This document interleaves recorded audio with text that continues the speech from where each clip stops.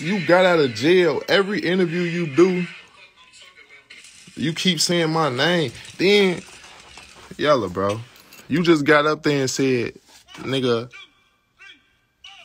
I lied about going to jail for this and six nine. Now, now watch this, gang. Cause nigga, I just got out of jail for this and six nine on the internet, bro. What the fuck? I look like a goofy? Right here. Come on, fam. What that say? Hmm. Iowa Department of Corrections, right? When they say violation, February 22nd, 21, right? What the fuck did they do that shit say, bro? It say I threatened six to kill six nine, right?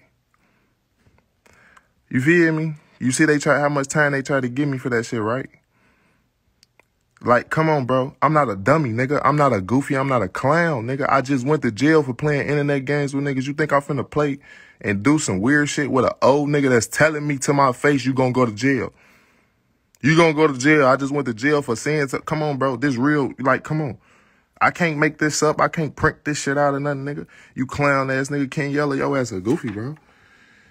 You like, you be chasing it, nigga. Yes, nigga, I just got out of jail for threatening a nigga over the internet, bro. So I'm glad I don't want them to post no clips of me threatening no old ass man. That man, a hundred years old. I don't BD. Like, that nigga a hundred years old, bro. If I just went to jail for threatening Tekashi six nine, and he a federal informant. Like, come on, bro. Like, y'all be expecting a nigga to crash out and, and go to jail. Every time I go to jail, last time I went to jail, I lost 100,000 followers. That show y'all how much a motherfucker care about a motherfucker. You know what I'm saying? Like, I ain't no, like, now let's get back to the Charleston White shit. Since I got motherfuckers in here. I know it's like 4 in the morning. But I just had to say something to shit.